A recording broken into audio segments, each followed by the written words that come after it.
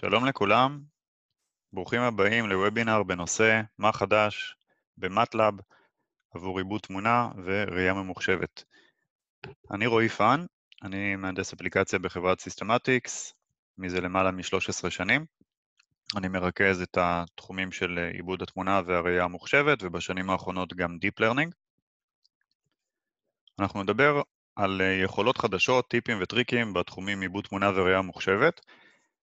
כמו שאתם אה, בטח יודעים, MatWorks מוציאה גרסת מוצרים חדשה פעמיים בשנה, אחת בסביבות חודש מרץ והשנייה בסביבות ספטמבר, ובין לבין היא גם מוציאה support packages.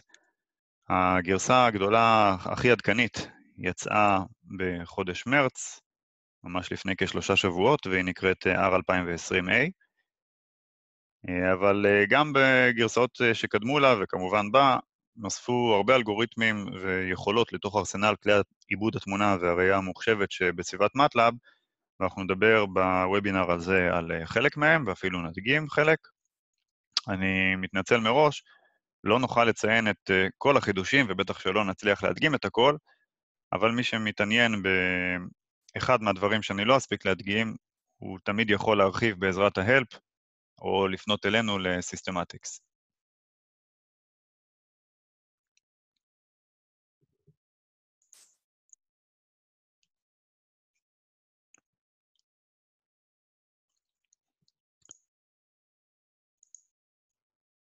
את החידושים בתחום עיבוד התמונה והראייה הממוחשבת אפשר לחלק לחמש קטגוריות. הסוג הראשון של החידושים שנדבר עליו הוא אפס, שאפשר להשתמש בהם כדי להאיץ את uh, תהליך הפיתוח. יש גם פונקציות חדשות שמטרתן להקל על תהליך הפיתוח.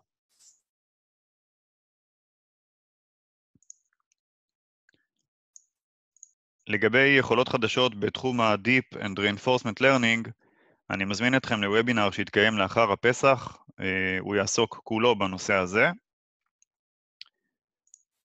נדבר היום גם על ממשקים פתוחים למערכות וכלים חיצוניים, שפות אחרות חוץ ממטלב, וניתן התייחסות לחידושים בהקשר של תמיכה ביצירת קוד למגוון רחב של טארגטס. נתחיל בלדבר על אפס.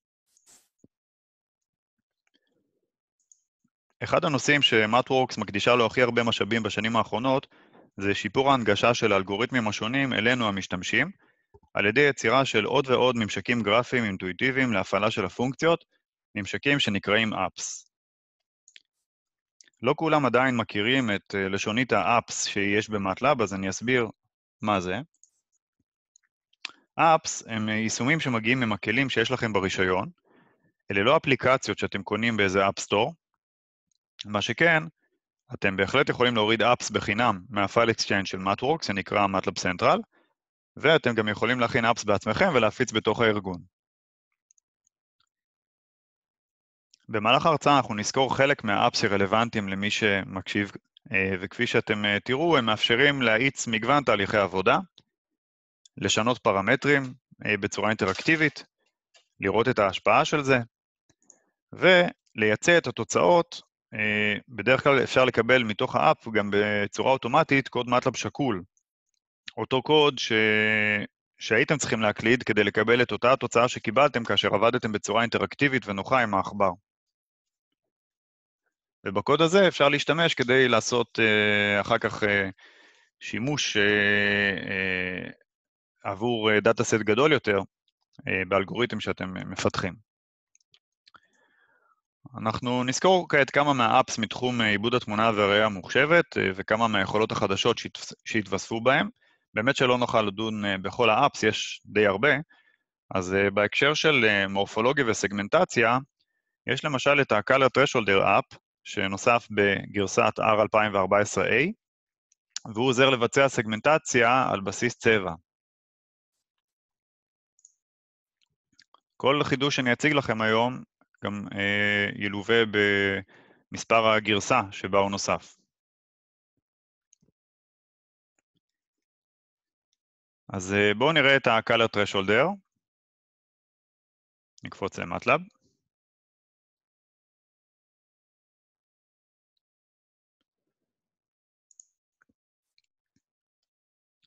אוקיי, אז אני הולך ללשונית של האפס, ומרחיב את האפשרויות ככה שאני אוכל לראות את כל האפס שמותקנים אצלי על המחשב. לי כמובן יש גישה להרבה אפס, כי uh, זה חלק מההטבות של התפקיד. Uh, אצלכם כנראה הרשימה תהיה יותר מצומצמת. במחיצה של ה-Image Processing and Computer Vision יש לא מעט אפס, ואנחנו כאמור נסתכל קודם כל על ה-color thresholder, זה.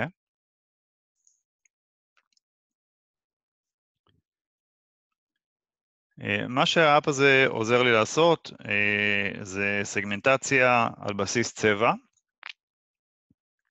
אז אני יכול אה, לטעון לתוכו תמונה מתוך קובץ שנמצא לי על הדיסק, או משתנה מה-workspace, או אפילו לצלם אחת אה, עם המצלמה שלי. בואו ניתן למשל את הקובץ אה, שנמצא לי בתיקייה. האפ פותח לכם את התמונה למטה ומראה לכם אותה בכל מיני מרחבי צבעים, כדי שתוכלו להחליט איפה יהיה לכם יותר נוח לעבוד, תלוי באיזה צבע אתם אה, רוצים להתמקד. בואו נבחר למשל במרחב הצבעים LAB. נפתחת שוב התמונה עם ההיסטוגרמות, ומה שנחמד זה שההיסטוגרמות הן לא רק uh, בשביל היופי, אלא אפשר ממש לשחק איתן, להזיז אותן. Uh, נשנה גם את ה-B, וככה בעצם נשארנו רק עם ה-M&M's הכתומים. את כל מה שעשיתי פה, אני יכול עכשיו לייצא, או כתמונות, אז יש לי את המסכה הבינארית, אה, או את ה-Must RGB image וכולי, אני יכול לייצא את זה ל-Workspace, וגם אני יכול לקבל קוד MATLAB שקול, export function, לכל מה שהרגע עשיתי עם העכבר. זאת פונקציה שאני אוכל להכניס אליה עכשיו תמונה חדשה. אפ שימושי אחר הוא ה-Image Region Analyzer, זה. הוא מאפשר לכם לחקור אה, אזורים בתמונה בינארית.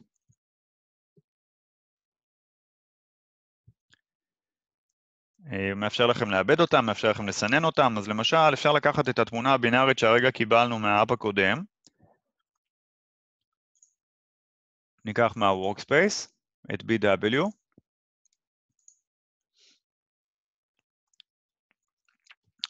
אתם uh, רואים בצד ימין, uh, זה בעצם uh, כמו region props, מראה לכם את הבלובים השונים, כל מיני נתונים על הבלובים השונים, וכשאני עומד על שורה מסוימת, אז זה גם מסמן לי את הבלוב המתאים בתמונה הגדולה. אפשר למשל להחליט שאני רוצה להעיף את כל הלכלוכים הקטנים, שרידים של M&M's מצבעים אחרים, אה, על ידי פעולת סינון, פילטר, אריה, ואני בעצם מבקש מהאפ להשאיר לי את כל הבלובים שמכילים לפחות 100 פיקסלים. אני יכול גם למלא את החורים שיש פה בחלק מהבלובים עם הצ'קבוקס הזה של ה-fill holes. זה בעצם כמו הפקודה I'm fill. ושוב, לייצא את התמונה או את הטבלה שאתם רואים בצד ימין, או לקבל פונקציית MATLAB שקולה, הנה פונקציית המטלאב, הנה IMFIL, הנה region props.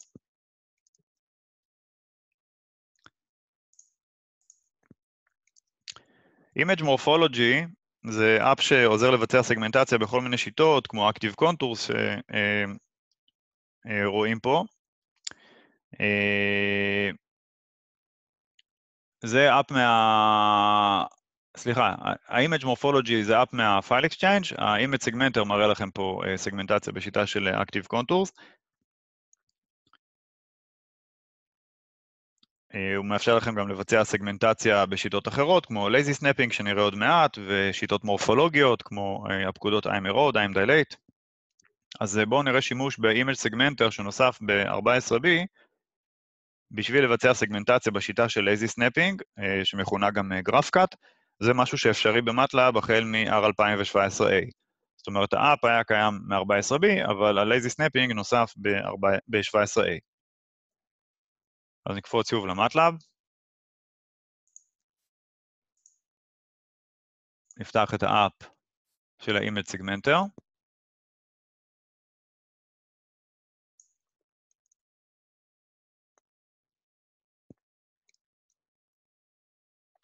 נטען לתוכו תמונה, אז ניקח את התמונה שעבדנו איתה מקודם, ואני יכול לבחור כל מיני, בין כל מיני שיטות, אני אבחר בשיטה של הגרף קאט. בגרף קאט אני בעצם, כדי לעשות סגמנטציה, אני צריך לסמן כמה פיקסלים שמאפיינים לי את האובייקט שלי. אז אה, אלה הם פיקסלים של אה, חלק מה... מה-M&M, אז אני לא צריך לסמן את כולם, אבל צריך לתת דוגמאות לפחות מכל הצבעים שמעניינים אותי, אז הנה אדום, קודם לא סימנתי, ועכשיו אני צריך לסמן את הרקע, פיקסלים שמשתייכים לרקע, והאפ בצורה אוטומטית מבצע לי את הסגמנטציה, שאני גם יכול אה, לבצע תיקונים, למשל אפשר לראות שהאזור הזה אה, סומן בתור אובייקט, למרות שהוא רקע, אז אני פשוט אדקור אותו אה, גם פה. אה, כשהסמן שלי עדיין מסמן אה, רקעים, וזה עוזר לי לשפר את הסגמנטציה, אבל באמת בכמה קליקים של עכבר קיבלתי סגמנטציה מאוד יפה, אה, אני יכול להחליט שאני מאשר אותה, ושוב, לייצא את התמונה או פונקציה. זה האפ של ה-Image Segmenter.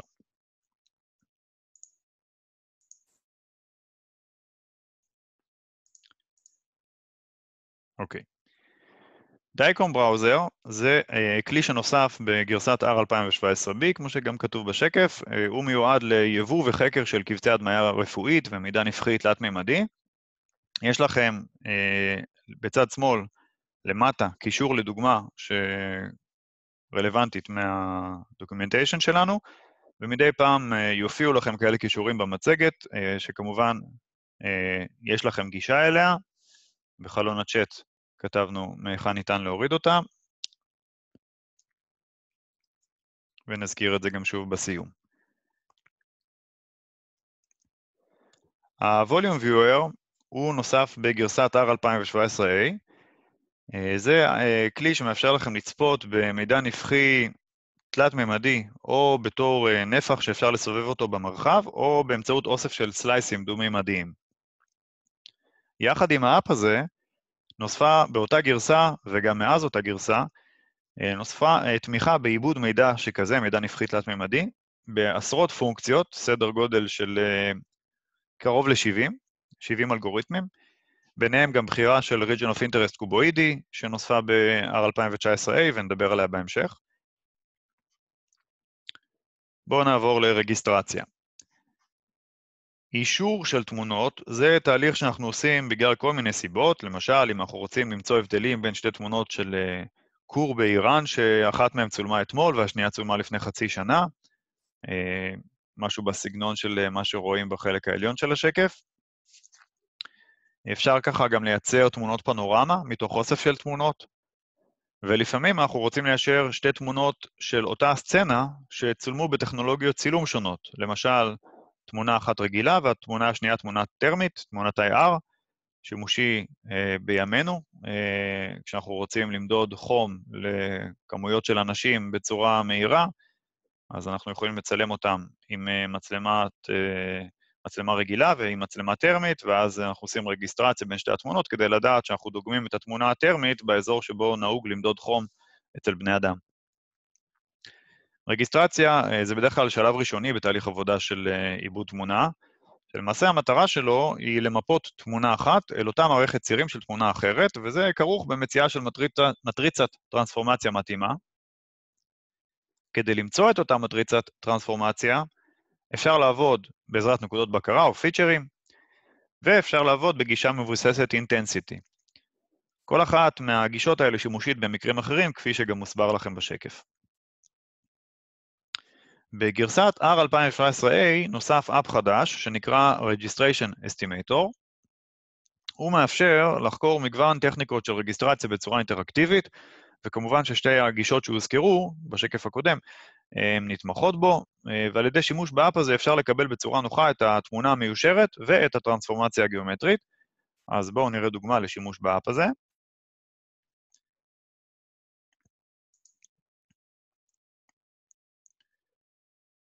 נטען את התמונה של הקמרמן. וזה נסובב אותה ב-30 מעלות.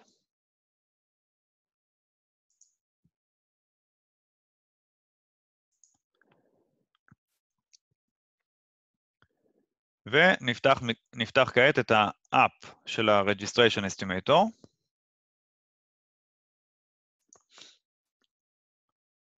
נכניס לתוכו את התמונות, ושוב, אפשר גם לטעון תמונות מתוך קובץ, ואפשר גם מתוך משתנים ב-Workspace. לנו יש את הקמרמן ואת הגרסה המסובבת שלו. שתי התמונות כבר מוצגות בערוצי צבע שונים, גם הקמרמן וגם הגרסה המסובבת שלו, ואפשר לראות שהאפ כבר מבצע לנו התאמה בין נקודות בתמונה אחת לנקודות בתמונה השנייה. אחרי שמנסים לבצע התאמה באמצעות אחת השיטות, למשל אה, בעזרת אה, חילוץ פיצ'רים של סרף והתאמה בין אה, נקודות שאמורות להיות תואמות, ואז שערוך של הטרנספורמציה, כן, אני לוחץ כאן על Register Images, אז אנחנו מקבלים כאן מדד לאיכות ההתאמה, כן, המקסימום זה 1, וגם מידע לגבי משך הזמן שנדרש לצורך ביצוע ההתאמה. בנוסף, אפשר לראות שאזורים בתמונה שהייתה בין, בהם התאמה בין שתי התמונות, אז הם אה, צבועים בגווני אפור, ואילו אזורים שלא נמצא עליהם התאמה באחת התמונות, אז הם נצבעו בירוק או בסגול, תלוי באיזו תמונה הם הופיעו, אה, ובשנייה לא.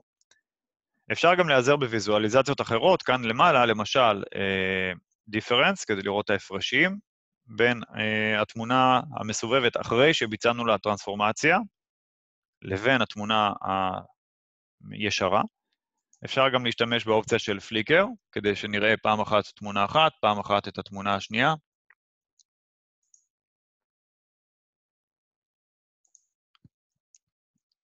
אם אנחנו לא מרוצים מהתוצאה, והתוצאה הזאת היא לא התוצאה הכי טובה שאפשר לקבל, אז uh, אפשר לנסות טרנספורמציה אחרת. אה, למשל טרנספורמציה אפינית במקום פרוג'קטיב, אה, אה, שזה הדיפולט. אפשר גם לנסות לשנות את מספר הפיצ'רים שמאותרים ואת האיכות שאנחנו מוכנים לאפשר עבור ההתאמות שמבוצעות. אפשר גם לבחור פשוט בשיטה אחרת. כמו שאמרנו, גם ה-feature-based וגם ה-intensity-based registration הן גישות שנתמכות, כנ"ל non-rigid registration. אז אני יכול לעבוד, למשל, עם uh, חילוץ פיצ'רים בגישה של בריסק. אה,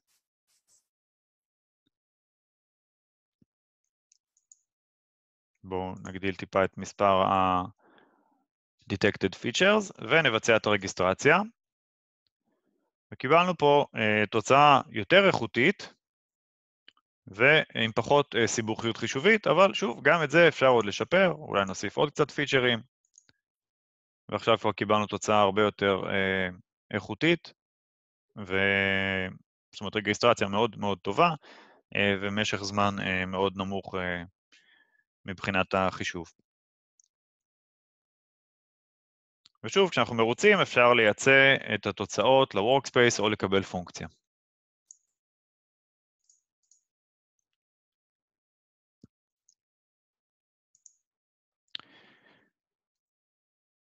על app של תיוג קבצי וידאו ותמונה בעזרת bounding box וברמת הפיקסל, אתם תוכלו לשמוע בוובינר שנעביר אחרי הפסח בנושא Deep Learning.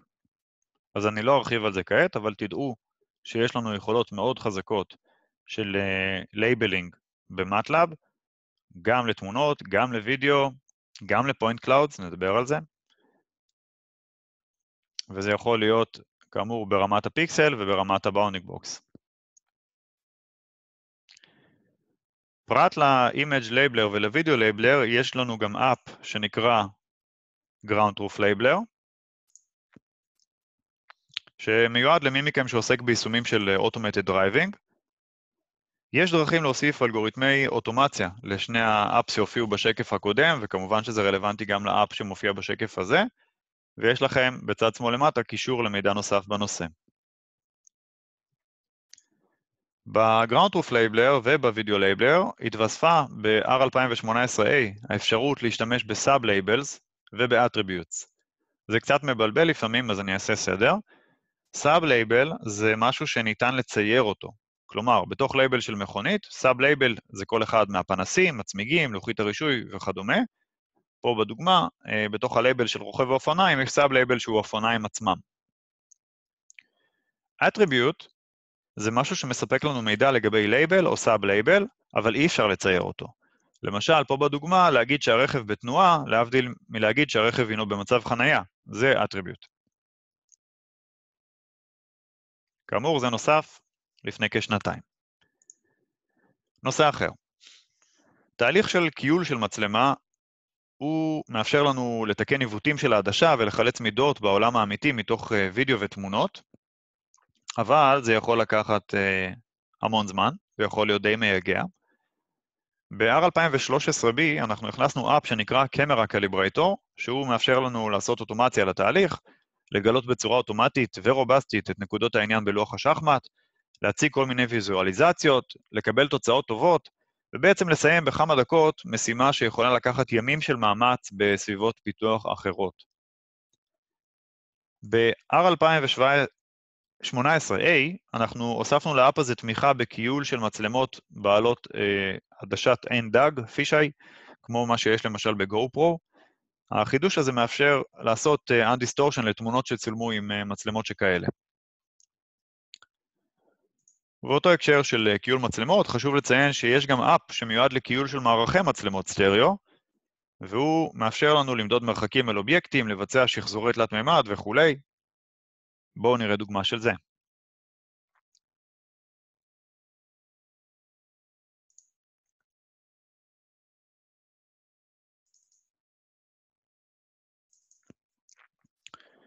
אני פותח קובץ מטלאב, שאולי לחלקכם קצת פחות מוכר.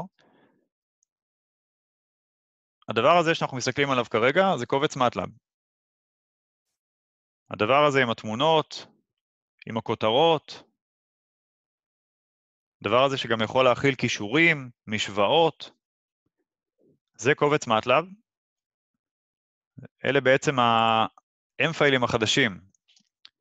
זה נקרא uh, קבצי MLX או LiveScript, אפשר ליצור כאלה בעצמכם על ידי גישה, על ידי לחיצה כאן אה, על New ואז LiveScript. זה בעצם הנוטבוק של MATLAB.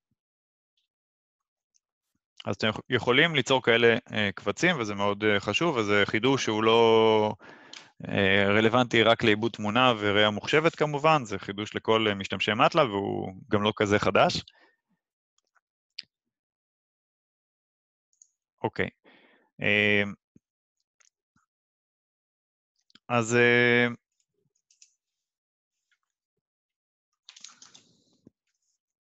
אנחנו מדברים על קיול מצלמה ושחזור תלת מימד מתוך אה, שתי תמונות רגילות של אותה סצנה שצולמו על ידי מצלמות שונות.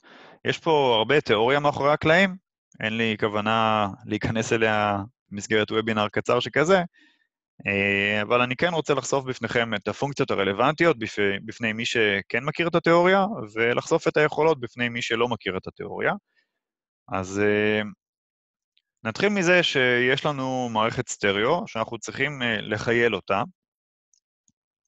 איך אנחנו מחיילים מערכת סטריאו? אז אנחנו מצלמים, למשל, לוח שחמט אסימטרי בזוויות שונות, כמו שאפשר לראות כאן, יש לי למשל את התמונות ממצלמה ימין, ואת אותה סצנה צילמתי גם ממצלמה נוספת, אה, זה נמצא בתיקייה של, מצל... אה, של מצלמה שמאל, הנה עוד תמונה.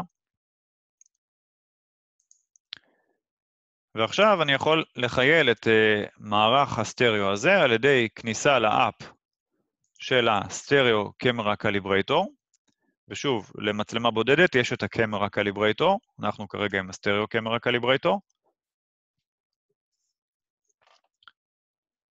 אני מכניס לתוכו את התמונות, אני אומר לו מה התמונות של מצלמה שמאל, ומאיפה לקחת את התמונות של מצלמה ימין.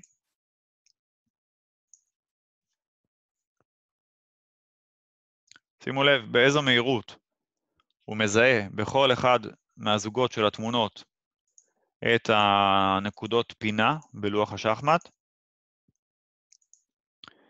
וכדי לכייל אני פשוט לוחץ כאן על calibrate, וממש בכמה שניות אני מקבל כיול של מערך הסטריאו הזה. אפשר לראות בצד ימין את מערך הסטריאו, מערך המצלמות, ואלה הם הלוחות שלנו, ככה אה, הצבנו אותם. אפשר גם להציג את זה בצורה אחרת, שבעצם הלוחות הם סטטיים והמצלמות הן אלה שמרחפות בחלל החדר. כאן ניתן לראות את השגיאה אה, של כל אחד מהזוגות. ניתן לראות שזוג מספר 13 אה, הביא לי לשגיאה די גדולה, אם נלחץ על הברים האלה, זה יעביר אותי לזוג התמונות. זוג התמונות הזה, אה, בעצם הלוח היה בזווית מאוד חדה ביחס למצלמות, תשבו למשל עם אלה, וזה כנראה מה שגרם לאי-דיוק בגילוי של ה-corner points וגם לתרומה די גדולה לשגיאה. אפשר פשוט להחליט שאנחנו מוותרים על הזוג הזה, קליק ימני, remove and recalibrate, ושוב, בתוך כמה רגעים אני מקבל את, ה, אה, את הכיול, ואת הפרמטרים אני יכול לייצא, שוב, אל ה-workspace, או אה, לייצר מזה סקריפט.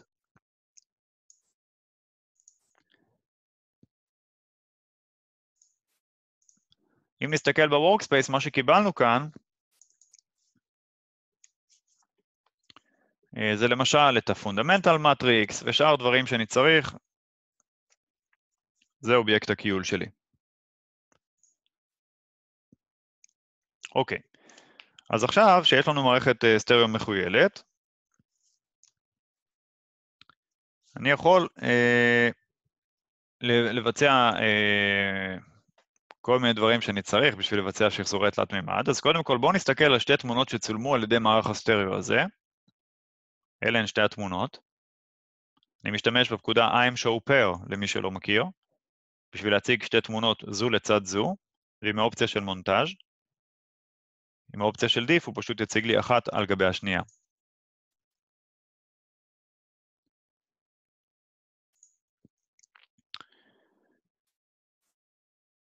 עכשיו, אני אציג את האנגליף של אה, שתי התמונות, וכפי שניתן לראות, בעזרת הפקודה הסטריאו אנגליף, התמונות עדיין לא עברו רקטיפיקציה. רקטיפיקציה זה תהליך שבסיומו נקודה מסוימת נמצאת באותה שורה בשתי התמונות של המצלמות השונות. כלומר, אה, הנקודה התואמת בתמונה 2 לנקודה אה, בתמונה 1 נמצאת בתמונה 2 באותה שורה שבה נמצאת הנקודה בתמונה מספר 1. אה, זה תהליך שמפשט את בעיית הקורספונדנס הדו-מימדית לבעיה חד-מימדית, ואפשר לראות שכרגע זה לא קורה. אם נסתכל על העקב, הוא לא נמצא באותה שורה כמו, בתמונה אחת כמו שהוא נמצא בתמונה השנייה. ואם אני אשים עכשיו, אם אני אחבוש עכשיו משקפי תלת-מימד, אז התמונה לא תיראה טוב. אז כדי לבצע רקטיפיקציה, אני משתמש בפקודה Rectify Stereo Images, שנוספה בגרסת R2015A, ואחרי הרקטיפיקציה, כשאני משתמש בפקודה סטריאו אנגליף, אני כבר רואה שהתמונה כן עברה באמת אה, רקטיפיקציה, טובה. אז העקב נמצא באותה שורה בשתי התמונות, אבל בעמודות שונות,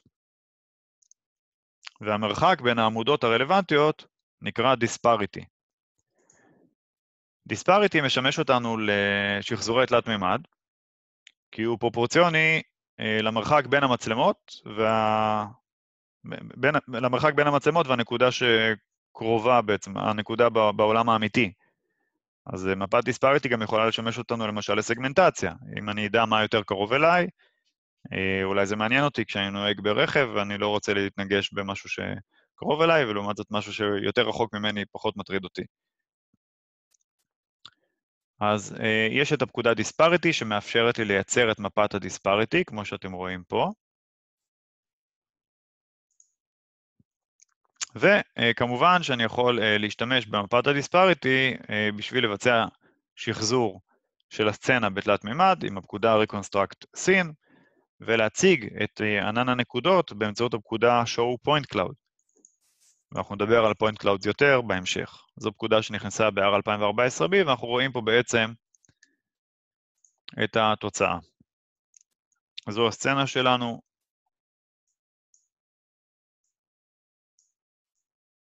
זו הרגל שצילמנו ב... בפרידי.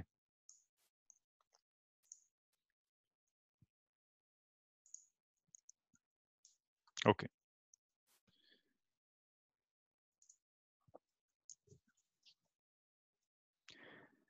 אז דיברנו על כמה מהאפס וכמה מהחידושים שבהם, שוב, לא הזכרנו את כל האפס. בואו נדבר על אה, חלק מהאלגוריתמים החדשים. אז קודם כל, מבחינת עבודה עם הרבה תמונות, כדאי להיעזר בפקודה Image Data Store שנוספה ב-R2015B, והיא מאפשרת לכם לאבד קבצי תמונה רבים ביחד, כאילו שהם אישות אחת. ב-18B אנחנו הוספנו אה, במטלב הבסיסי את הפקודה IMTile, היא מקלה על הצגה של מספר תמונות בפיגר ווינדו אחד. יש לכם פה את הקוד למעלה, בעצם הפקודה imtile, ואז imshow למוצא של imtile. בעצם imtile פה לקחה 27 תמונות, 27 חתכים אה, של MRI שאתם רואים כאן, ומצאה בעצמה כיצד להציג לי את אה, כל 27 התמונות האלה על אותו figure window בצורה נוחה. אם הייתם עובדים עם subplot ו-subimage, היה נאכל לכם הרבה מאוד משטח התצוגה, בגלל אה, צירים, בגלל כותרות ש-MATLAB משאיר מקום עבורן. הייתם גם צריכים לחשוב איך כדאי לחלק את זה, האם לעשות את זה 5 על, על 6 או משהו אחר. ואז להתחיל לעשות sub אה, plot אה, לכל אחת מהתמונות ו-subimage, ופה בעצם בשתי שורות, כן, אה, imtile ו-imshow, הצגתי את כל התמונות באותו פיגר ווינדו. ועוד בהקשר הזה של עבודה עם הרבה תמונות, ב-R2015A אנחנו הוספנו אפ שנקרא Image Batch Processor, הוא הופיע שם בתפריט של האפס. זה אפ שמאוד מקל כשרוצים להפעיל אלגוריתם מסוים על סט אה, של תמונות. אנחנו מגדירים לו מה התיקייה שמכילה את הקבצים שאתם רוצים לעבד, מה האלגוריתם שאתם רוצים להפעיל, והיכן לשמור את התמונות שמקבלים, והוא רץ. כשאם יש לכם את ה-Parallel Computing Toolbox, הוא גם יודע להשתמש בו כדי למקבל את העיבוד של התמונות השונות, ככה שתמונות שונות יעובדו על ידי הקורים השונים שיש לכם במחשב, ואז תקבלו את התוצאות יותר מהר. בסדר? כשיש לכם את ה-Parallel Computing Toolbox, אפשר ללחוץ כאן על ה-Use Parallel.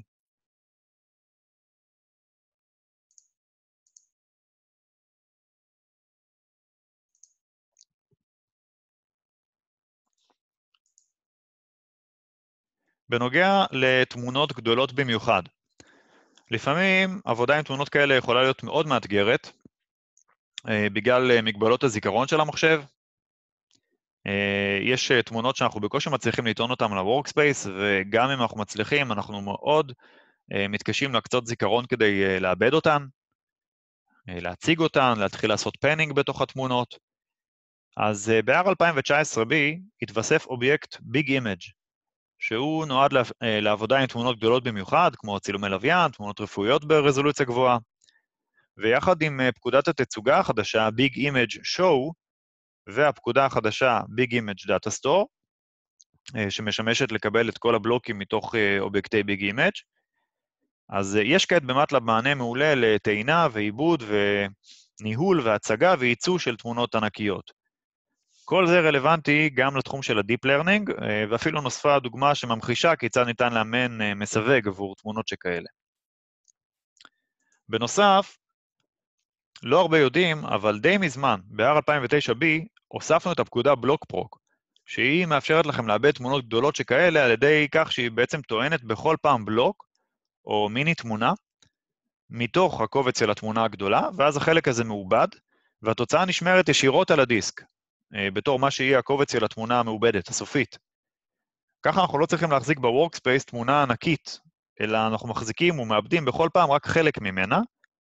כל הניהול של המידע מבוצע אוטומטית על ידי הפקודה, על ידי בלוק פרוק, אז אתם לא צריכים לדאוג לכל מיני נושאים כמו אינדקסים וכולי, אבל כמובן שיש לכם שליטה על פרמטרים כמו הגודל של הבלוקים שמעובדים, ואם יש לכם את ה-Parallel Computing Toolbox, אז הטעינה של המיני תמונות והעיבוד שלהן אה, זה יכול להתבצע במקביל על הקורים השונים שיש לכם במחשב, ושוב, אה, תקבלו ככה את התוצאות מהר יותר. מי שמעוניין בדוגמה, אז יש פה קישור אה, לנושא הזה של block processing של תמונות ענק.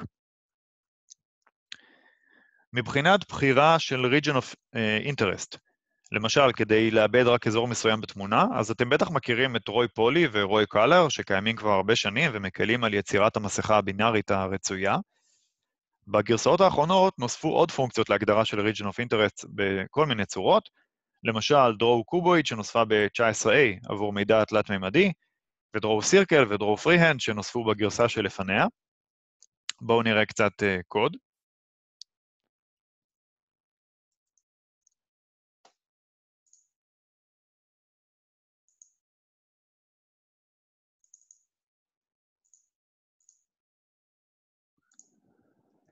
אז אני טוען את התמונה של הטווס שמגיעה כעת עם המטלאב. למי שנמאס לו מהקמרמן. ואני בוחר ב-Draw Circle, וכעת אני יכול לסמן עיגול מושלם על גבי התמונה, להגדיל אותו, לש... להקטין אותו, להזיז אותו. ברגע שאני מרוצה מהסימון של ה-Region of Interest, אני יכול לבחור ב-Create Mask,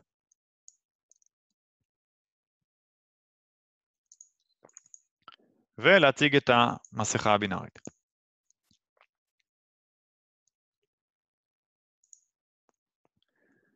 אם אני אשתמש ב-Draw Assisted,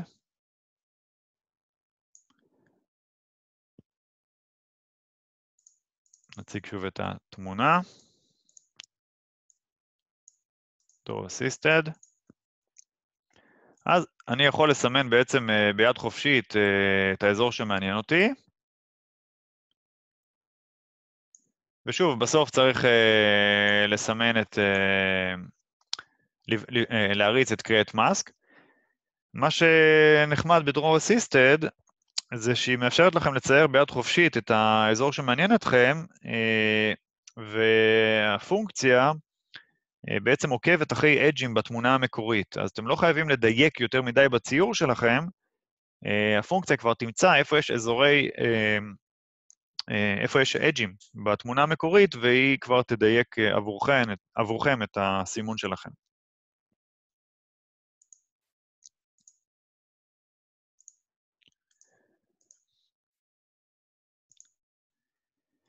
בהקשר של סגמנטציה, אז אה, נוספו ב-R2018B פונקציות שמבצעות סגמנטציה בעזרת K-means, למשל, רואים פה בצד שמאל את החלוקה לשני אשכולות בעזרת עם סג K-means, זו הפקודה, ובצד ימין, שימוש באם סג K-means 3 כדי לבצע סגמנטציה של נפח. אז בואו נראה קצת קוד אה, לחלוקה של אה, הדמיה של MRI לאשכול של רקע ואשכול של האובייקט עצמו, בעזרת imsegkmeans 3.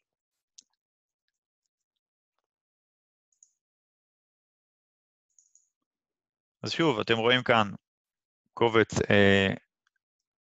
live script, טענתי את הדאטה שלי, אז יש לי פה את האובייקט, ויש לי פה את הרקע, החלק השחור הזה מסביב. אני משתמש ב- imsegkmeans3 כדי לחלק את הנפח הזה לשני אשכולות. אני, זה, זה פרמטר שאני יכול לשלוט עליו, מה מספר האשכולות שלי. אני בחרתי בשניים, בעצם רקע ואובייקט. ואז השתמשתי כאן ב-volshow, שתכף נדבר עליה, אה, בשביל אה, להציג לכם רק את האובייקט.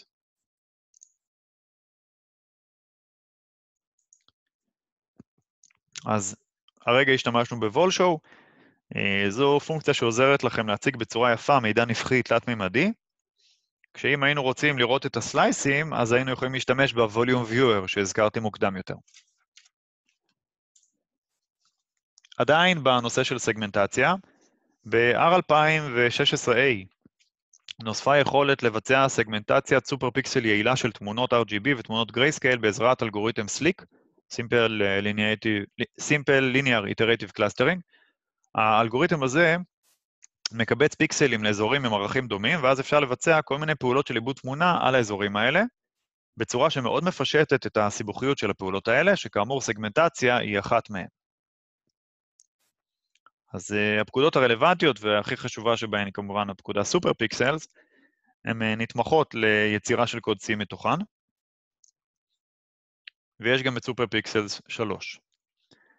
אני אעצור כאן את הדיון בנושא של סגמנטציה, ואני לא אחזור אחורה בזמן לסגמנטציה בשיטת Fast Marching שנוספה ב-14B ותומכת בעיבוד מידע תלת-מימדי, יש גם את אה, Active Contours, Snakes, שנוספה ב-13A, וגם היא כבר יודעת לעבוד עם מידע נפחי מאז אה, גרסת 17A, ויש עוד ועוד פונקציות סגמנטציה במטלב. כאמור, מ-17A ואפילו קצת לפניה, אנחנו הוספנו עוד ועוד תמיכה בעיבוד מידע נפחי תלת-ממדי, אז לא מדובר כאן רק בהרחבה של יכולות של פונקציות קיימות, אלא גם בתוספת של פונקציות שאתם בטח מבינים מהשמות שלהן מה הן עושות.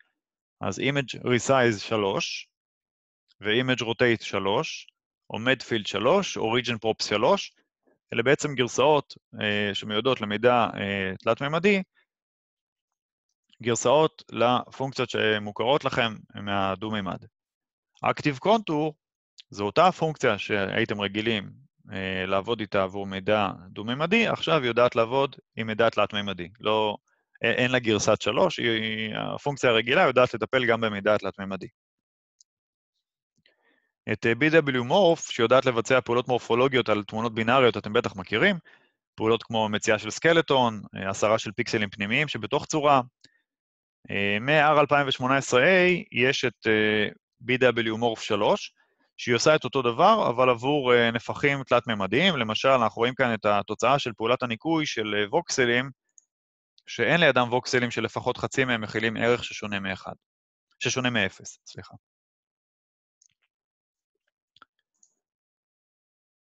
point clouds.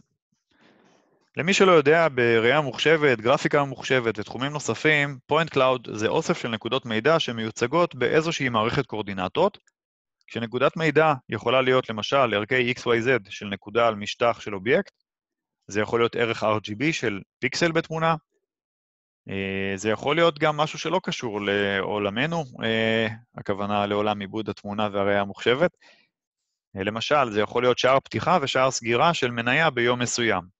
אז שער פתיחה זה ציר אחד, שער סגירה ציר שני, ויום, היום זה הציר השלישי. ו-point cloud הוא פשוט אוסף של הרבה מאוד נקודות כאלה, סדר גודל של מיליונים. בתחום שלנו, את ה-point cloud אנחנו מקבלים מכל מיני מקורות, זה יכול להיות ממערך של מצלמות סטריאו, או ממצלמת עומק, כמו Kinect, או מ-lidar. ויש ל-point cloud הרבה שימושים, משחזור תלת מימד, אה, דרך רגיסטרציה של מידע מהתקני חישה שונים, ועד אה, מערכות התראה מפני התנגשות ועיבוד של אה, מידע נפחי. ב-R2015A התווספו ל-MATLAB הרבה פונקציות לעבודה עם point cloud.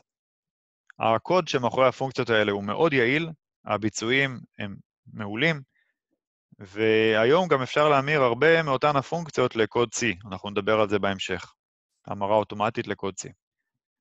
מאז ההכנסה של התמיכה ב-point cloud התווספו עוד יכולות, כמו למשל קריאה של מידע point cloud מסנסורים של Velodyne, שזה משהו שנוסף ב-18B, ובגרסה החדשה, ב-R2020A, ה- Ground Truth Labeler, שהזכרתי אותו קודם, הוא מאפשר לכם לבצע עכשיו תיוג של ענני נקודות מליידר כדי לאמן רשתות של Deep Learning.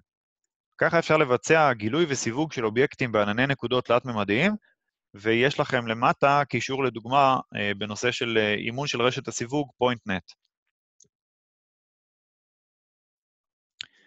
בגרסאות שיצאו בשנת 2016 היה דגש על אה, Structure for Motion, שזה שחזור של מבנה תלת-ממדי באמצעות מצלמה נעה או כמה מצלמות נעות, שזה שימושים מאוד עבור יישומים של סריקות תלת-ממד ו-Augmented Reality. אז מ-2016 אפשר לשערך את הקמרה פוז ואת המבנה התלת-ממדי של סצנה מתוך אוסף תמונות דו-ממדיות, וחלק מהפונקציות שנוספו בזמנו נתמכות גם על ידי הכלי שממיר אוטומטית קוד מטלב לקוד C. ב-R2020A נוספו יכולות חדשות בתחום ה-SLAM, Self-Localization and Mapping. SLAM זו הבעיה של בנייה של מפה או עדכון שלה עבור סביבה לא ידועה, תוך כדי שאנחנו מבצעים עקיבה שוטפת אחרי מיקום של סוכן בתוך הסביבה הזאת. כשבוויז'ואל סלאם הסוכן הוא מצלמה, אז למעשה מדובר במינוף של Free Division בשביל לבצע בנייה של מפה תלת-מימדית של סביבה לא ידועה, תוך כדי שאנחנו מבצעים איכון גם של מיקום המצלמה בתוך המפה וגם של כיוון ההסתכלות שלה. זה שימושי ל-Automated Driving, לניווט, למיפוי של חללים פנימיים וכולי. וליכולות הקיימות בכלי בתחום הזה נוספו יכולות של ניהול מידע, פקודות אה, כמו Image אה, View Set, אה, נוספו יכולות אה, של אה, Bundle Adjustment, אה, ויכולות בהקשר של בנייה של פוסט-גרף אה, ואופטימיזציה שלו. אפשר לעשות גם SLAM עם חיישנים אחרים, למשל עם אה, סורק lidar, ואנחנו הוספנו ב-2020A דוגמאות שמסבירות את התהליך של ביצוע SLAM עם ענני נקודות. visual odometry שמוזכר פה במרכז השקף, זה visual SLAM פשוט יותר. זאת אומרת, הוא פחות מדויק, אבל הוא יותר מהיר.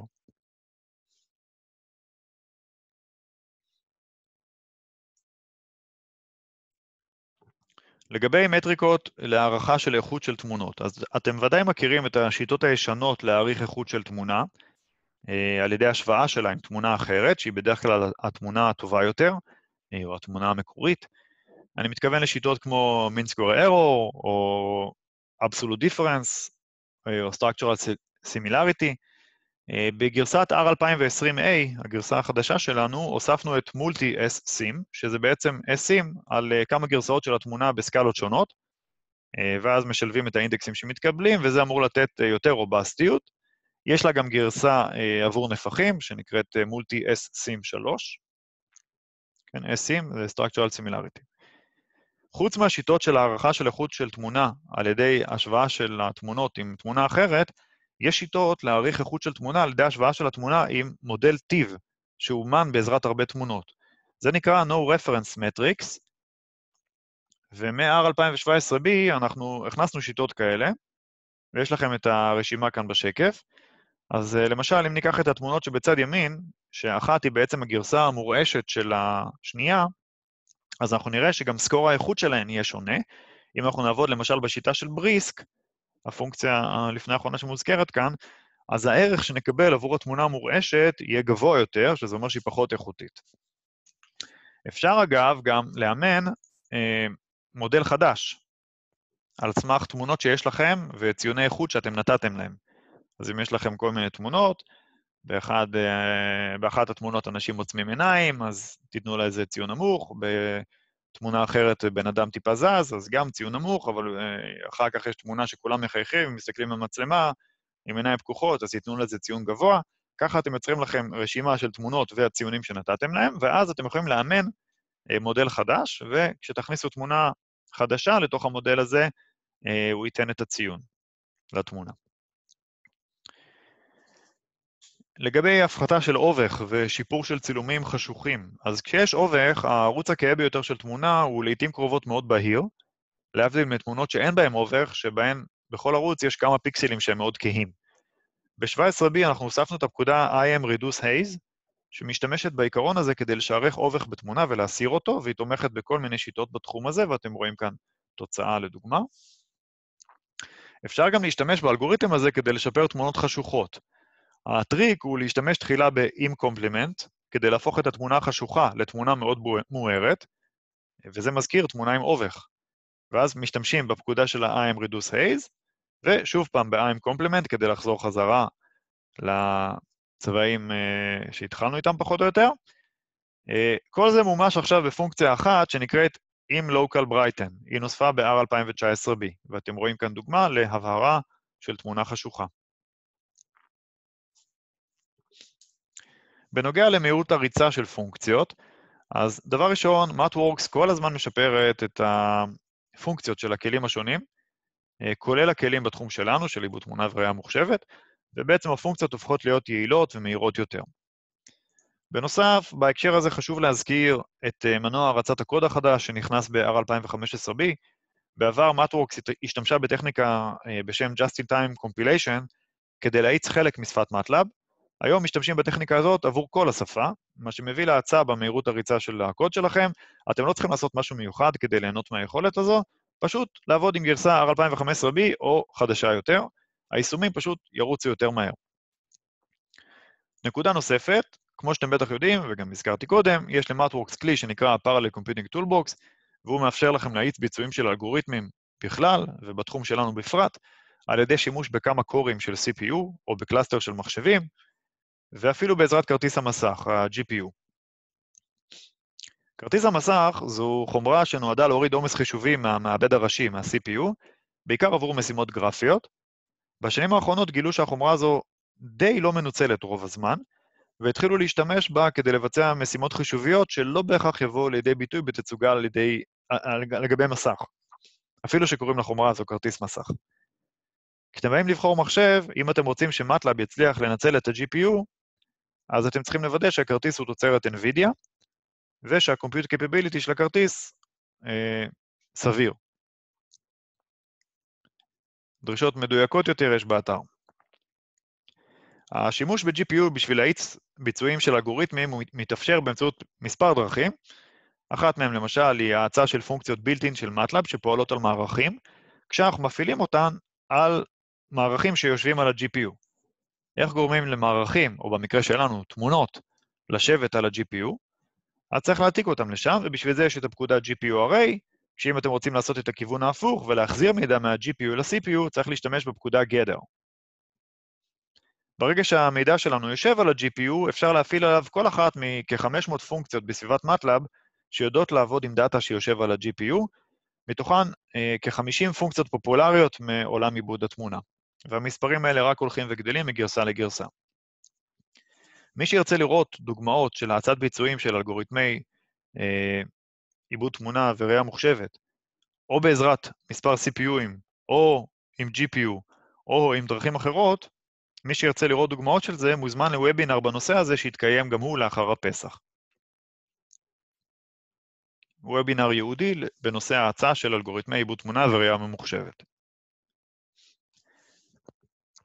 בקשר ל-image acquisition, אז כמו שאתם בטח יודעים, יש את ה-image acquisition toolbox, שהוא מאפשר לכם להזרים וידאו ותמונות בלייב לתוך MATLAB ו Simulink, והוא תומך במגוון מצלמות ו frame grabber ים, ובפרוטוקולים כמו Firewire, GigE Vision ואחרים, על אה, מגוון של מערכות הפעלה. גם ל-image acquisition יש אפ,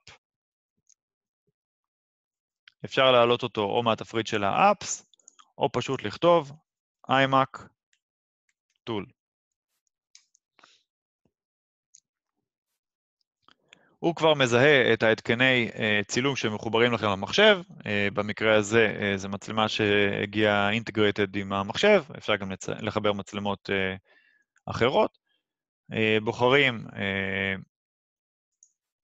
רזולוציה שרוצים לעבוד איתה, ועושים Start Preview ו-Start Acquisition, כשכל מה שאתם בעצם עושים כאן בצורה אינטראקטיבית עם העכבר, מתועד בצד ימין למטה כקוד MATLAB, שתוכלו אחרי זה לשמור אה, ולהשתמש בו. במקום לכתוב את הכל במטלאב, אתם עובדים עם ה GUI הזה בצורה אינטראקטיבית.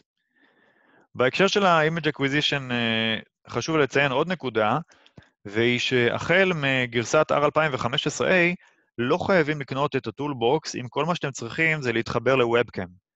כל מה שצריך בשביל להתחבר ל webcam ב MATLAB זה להתקין את ה MATLAB Support Package for USB Webcams, אה, מורידים את זה מהאתר שלנו, אפשר לגשת ל-Home, Add-ons, Get Add-ons, ואז להוריד את ה-MATLAB Support Package for USB Webcams, ואז באמצעות הפקודה Webcam ו-Snapshot תוכלו לצלם תמונות ולהכניס אותן למטלאב בצורה מהירה.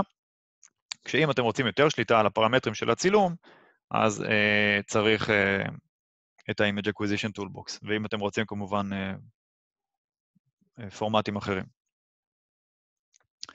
עד כאן לגבי אה, פונקציות ואלגוריתמים חדשים. לגבי חידושים בתחום של Deep Learning לעיבוד תמונה וראייה מוחשבת, אז כאמור, יש וובינר ב-23 באפריל, אני לא ארחיב על זה כעת. רק נקודה אחת, מ-R2017B אפשר להשתמש ב-Deep Learning בשביל לבצע כל מיני משימות של עיבוד תמונה מסורתיות, כמו למשל denoising, אה, שאתם רואים כאן בשקף, אה, או ליצור תמונות ברזולוציה גבוהה מתוך תמונות ברזולוציה נמוכה. עוד על Deep Learning אחרי פסח. כמה מילים בנוגע לממשקים אה, פתוחים, למערכות וכלים חיצוניים. אז OpenCV זו ספרייה שכוללת אלפי אלגוריתמים לביצוע משימות של ראייה מוחשבת בזמן אמת. זו סביבה חינמית ואלגוריתמים שיש בהם אה, די מהירים, אבל הממשק שלה הוא מאוד לא נוח, והיא גם לא סביבת עבודה כמו MATLAB, אלא רק אוסף של פונקציות. מי שאוהב להשתמש במטלאב, אבל עדיין רוצה ליהנות גם מהיכולות של OpenCV, ישמח לדעת שכבר כמה שנים, מאז R2000, 14B, יש חבילת תמיכה שמקלה על שילוב של קוד OpenCV בתוך MATLAB. אתם צריכים להפעיל את הפקודה Vision Support Packages, כשה-Support וה-Packages, ה-S וה-P, הם אותיות גדולות. Vision Support Packages זו הפקודה שצריך להפעיל כדי להתקין את החבילה, ואז כל מה שנותר זה בגדול להשתמש בפקודה Max OpenCV כדי לקרוא לאלגוריתם של OpenCV מתוך סביבת MATLAB על ידי הפיכה שלו ל-Max בעזרת קומפיילר מתאים. הממשק הזה מכיל את כל המורות אה, טיפוסי המידע החיוניות, והוא גם מאפשר לשלב פרויקטים מלאים ב-OpenCV ולא רק פונקציות בודדות. יש לכם פה uh, קישור לתיעוד uh, בנושא. כשבגרסה החדשה, R2020A, הוספנו גם ממשק בין OpenCV לבין Simulink, שמאפשר לשלב ספרייה של OpenCV בתוך דיאגרמת בלוקים של Simulink. בהקשר של Deep Learning, אז יש שתי דרכים לשיתוף פעולה בין MATLAB וסביבות הקוד הפתוח. בצד שמאל אתם רואים את האפשרות להעביר מודלים בין סביבה אחת לשנייה, בעיקר דרך שימוש אה, בפורמט ONNX. אז אפשר להכניס מודל מ-TensorFlow אה, או PyTorch ל MATLAB ולייצא מ MATLAB מודל מאומן לסביבות האחרות. בצד ימין אתם רואים את האפשרות לקרוא לקוד Python מתוך MATLAB ולהפך. אגב, אפשר לקרוא לעוד שפות מתוך MATLAB, לא רק Python, אלא גם Java, .NET, Fortran, C, C++, ואפשר גם לקרוא ל MATLAB מתוך כל מיני שפות, לא רק Python. אה, המצגת מכילה קישורים שתוכלו להגיע מהם לעמודים הרלוונטיים שיסבירו קצת יותר. בסדר? הכל פה זה קישורים. נשאר לנו, בדקות שנותרו לנו, להתייחס לחידושים בהקשר של תמיכה ביצירת קוד למגוון רחב של טארגטס. אז בשנים האחרונות שופרה מאוד התמיכה בפונקציות מעולם הראייה המוחשבת ועיבוד התמונה, ואפשר היום להמיר לקוד C או C++ בצורה קלה כ-100 פונקציות מתוך ה-Image Processing Toolbox, ואת הרשימה המלאה שלהן אפשר למצוא ב-Help. כאן למשל רואים פונקציות שהחלו להיתמך בגרסת R2019A, שתי הפונקציות התחתונות, אגב, הן פונקציות חדשות ב-Image Processing Toolbox, אחת מהן היא מתחום ה-In-Painting, והשנייה קשורה להמרה בין מרחבי צבעים.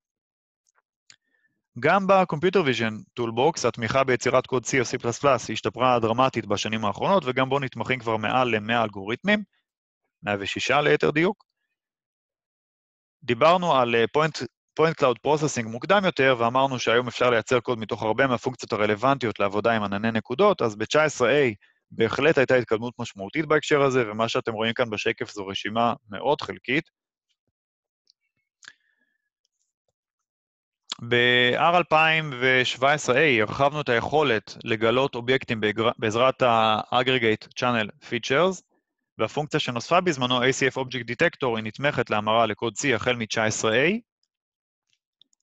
גם הפונקציה Detect ORB Features, שנוספה ב-19A ומאפשרת לגלות את ה-Oriented uh, Fast and Rotated Brief Key Points, גם היא נתמכת להמרה על ידי המטלב קודר. ORB, למי שלא מכיר, זו, זה בעצם שילוב של פיצ'רים של Fast ושל Brief, שהוא מאוד מהיר וחסכוני בזיכרון ומדויק, והיום כבר רואים שימוש הולך וגובר בו על חשבון uh, SIFT ו-SERF הישנות. נקודה אחרונה בשקף הזה, האובייקט של הגלאי אובייקטים בגישת YOLO V2, שנוסף ב-19A, גם הוא נתמך ליצירת קוד. זה למעשה גלאי האובייקטים הראשון ב MATLAB, שנתמך גם על ידי ה-GPU Coder, תכף נדבר עוד קצת על הכלי הזה. יש עוד פונקציות מתחומים נוספים של עולם הראייה המוחשבת שנתמכות כעת ליצירת קוד C, C++, למשל חישוב של מפת disparity, שדיברנו על זה קודם, אה, גם בעזרת block matching וגם בעזרת semi global matching, זה נתמך ליצירת קוד, ובעצם ההשקעה הזאת אה, בהמרה של קוד מטלאב לקוד C אה, בתחום של עיבוד תמונה, זה דבר שנמשך ויימשך גם ב-2020. אנחנו עובדים כל הזמן על להרחיב את רשימת הפונקציות שנתמכות, אנחנו עובדים על לשפר את המהירות של, ה... של הקוד שנוצר ולאפשר לו לפעול על מגוון של Embedded Targets.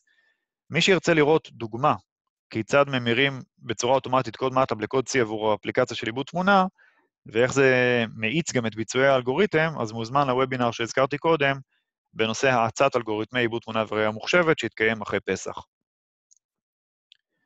עדיין בהקשר של יצירת קוד, זה המקום להזכיר שה-GPU קודר, שהתווסף בגרסת R2017B, תומך ביצירת קוד קודה לא רק מתוך Neural Networks, אלא מאפשר להריץ גם אלגוריתמי אה, עיבוד תמונה וראייה מוחשבת אה, על GPU, ואתם רואים פה כמה דוגמאות להאצה שניתן לקבל בדרך הזו, בהשוואה למימוש בקוד C של אותם האלגוריתמים שרץ על CPU. אז למשל, אה, חילוץ פיצ'רים של סרף פי 700 יותר מהר. ב-2020A נוספה תמיכה בעוד מספר פונקציות של עיבוד תמונה וראייה מוחשבת, וסך הכל יש כרגע כ-80 פונקציות של ה-Image Processing Toolbox וה-Computer Vision Toolbox שנתמכות. יש לכם בצד שמאל למטה קישור לדף שבו תמצאו את הרשימה המלאה של הפונקציות שנתמכות. ודבר אחרון, בהקשר של יצירת קוד שחשוב לדבר עליו, זה המרה אוטומטית של קוד MATLAB לקוד HDL. אז למי שלא יודע, ב-R2015A הוספנו כלי שנקרא Vision HDL Toolbox, שנועד להקל על פיתוח של מערכות עיבוד וידאו, עיבוד תמונה וראייה מוחשבת ל-FPGAs ו-ASICs. System Objects זה לא דבר חדש, אבל לא הרבה מכירים אותו. יש לנו על זה וובינר שהתקיים גם הוא לאחר פסח, וובינר בנושא System Objects. כל מי שעושה סטרימינג של וידאו בשביל לעבד אותו, כדאי שיכיר את הדרך לבצע Object Oriented Programming ב MATLAB בעזרת System Objects. יש לזה הרבה יתרונות בהיבטים של מהירות העיבוד, גישה לאלגוריתמים חדשים, תמיכה באריתמטיקת fixed point ועוד, ומי שרוצה לקרוא על זה קצת יותר לפני הוובינר, יש לכם פה אה, קישור למידע נוסף בצד שמאל למטה.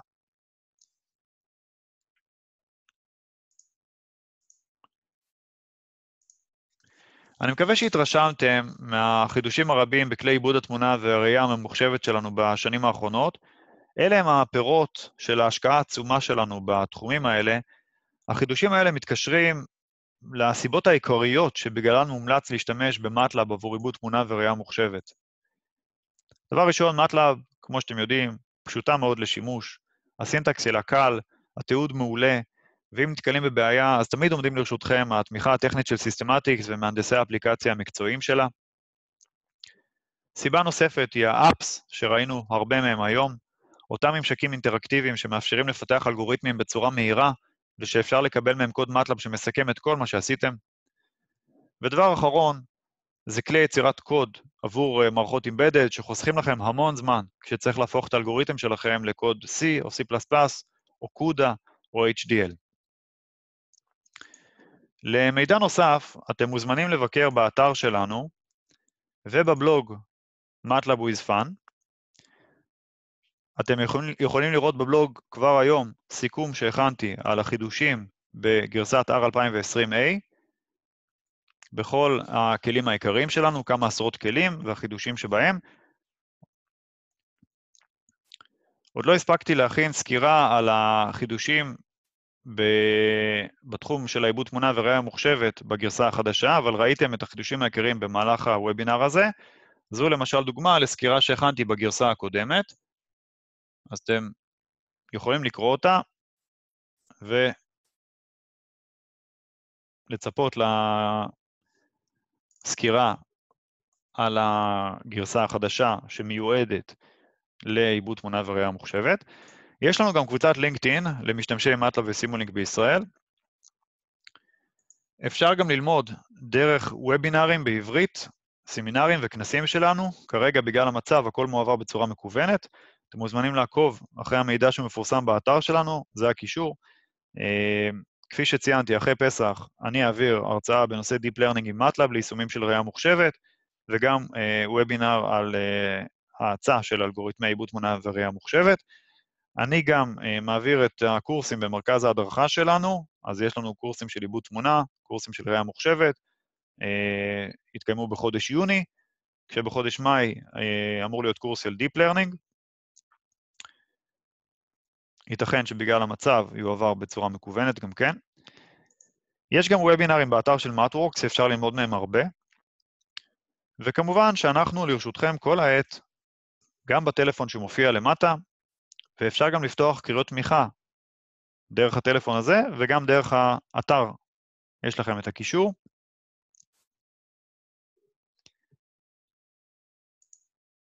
אז תודה רבה.